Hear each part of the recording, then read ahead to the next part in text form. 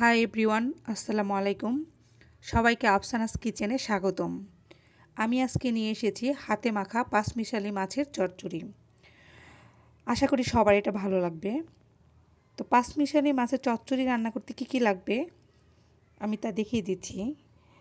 আপনারা দেখতে পাচ্ছেন, এখানে আমি কিছু মাছ নিয়েছি। তো পাঁচমিশালি মাছ এখানে, বিভিন্ন রকম মাছ আছে। তো এই মাছগুলোতে কি কি লাগছে দেখিয়ে দিচ্ছি। এক চা চামচ হলুদ গুঁড়া, এক চা চামচ মরিচ গুঁড়া। মরিচ গুঁড়াটা একটু বাড়িয়েও নিতে পারেন। আপনারা যে যেমন জাহাল খান সেটার উপর ডিপেন্ড করবে। হাফ চা চামচ জিরা গুঁড়া,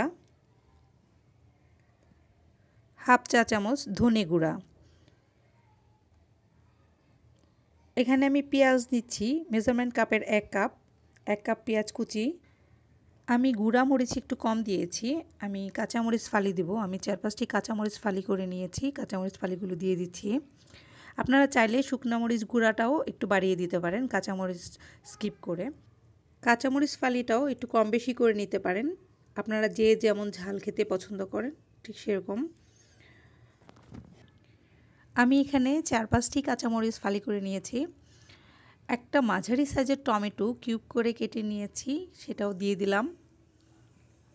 দিয়ে সমস্ত উপকরণ একসাথে ভালো করে মাখাতে হবে। হাতে, অবশ্যই হাতে মাখাতে হবে। মাখানোর আগে স্বাদ মতো লবণ দিয়ে নিতে হবে। আমি এখানে এখনও কোনো তেল অ্যাড করিনি, কারণ মাছগুলো ভালোভাবে মাখিয়ে তারপর তেল দেব। তেল দিয়ে মাখাতে গেলে মাছের গায়ে মশলাগুলো ঠিকমতো লাগবে না। তাই আমি আগে মাছগুলো ভালো করে মাখিয়ে নিয়ে, মশলাগুলো মাখিয়ে নিয়ে মাছের গায়ে ভালোভাবে লাগলে তারপর আমি তেল দিব। মাছটা কিন্তু বেশ খানিক ধরে মাখাতে হবে। মাছ মাখানো মোটামুটি হয়ে গেছে। আমি এখন এটাতে তেল এড করে দেব।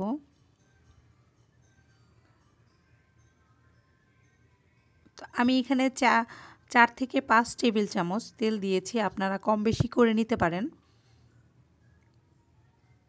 তো তেল দিয়ে আবার বেশ কিছুক্ষণ একটু মাখাবো মাখিয়ে মাছটা আমি দশ মিনিটের জন্য রেস্টে রেখে দেব।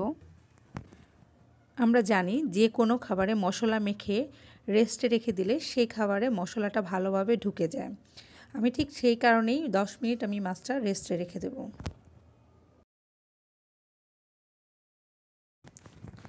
ফিরে আসলাম দশ মিনিট পর। তো দশ মিনিট পর ফিরে এসে আমি প্যানটা চুলায় দিয়ে দিলাম। চুলায় দিয়ে আমার গাছের লেবু পাতা আমার গাছে ছিল তাই দিলাম। আপনারা এটা স্কিপ করতে পারেন।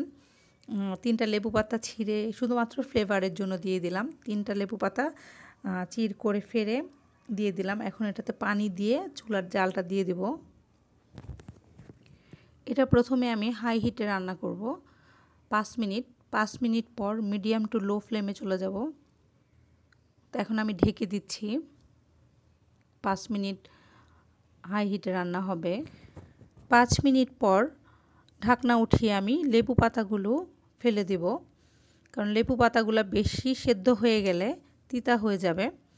তাই আমি এটা ফেলে দিচ্ছি এখন।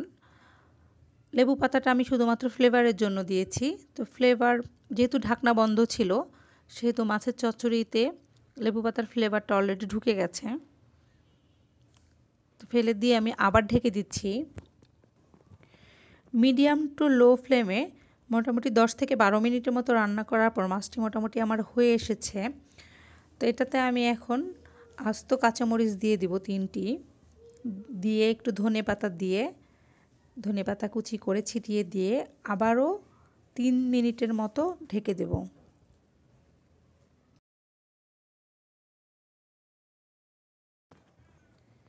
পাঁচমিশালি মাছের চচ্চড়ি রান্নাটা মোটামুটি হয়ে এসেছে আমার। আপনারা চাইলে ঝোলটা একটু শুকিয়ে নিতে পারেন। আপনারা কীভাবে খাবেন সেটার উপর ডিপেন্ড করবে। আমার এই রেসিপিটি যদি আপনাদের ভালো লাগে, তাহলে ফ্রেন্ডস অ্যান্ড ফ্যামিলির সাথে শেয়ার করবেন, একটা সাবস্ক্রাইব করবেন। আপনারা বাসায় এটা ট্রাই করে দেখবেন। এটা কিন্তু খেতে কিন্তু খুবই মজা। ভিডিওটি যদি আপনাদের ভালো লাগে, তবে ফ্রেন্ডস আর ফ্যামিলির সাথে শেয়ার করবেন, একটা সাবস্ক্রাইব করবেন। দেখা হবে ইনশাল্লাহ নতুন কোনো রেসিপিতে ততদিন ভালো থাকবেন, আমাদের জন্য দোয়া করবেন। আসসালামু আলাইকুম। আল্লাহ হাফেজ।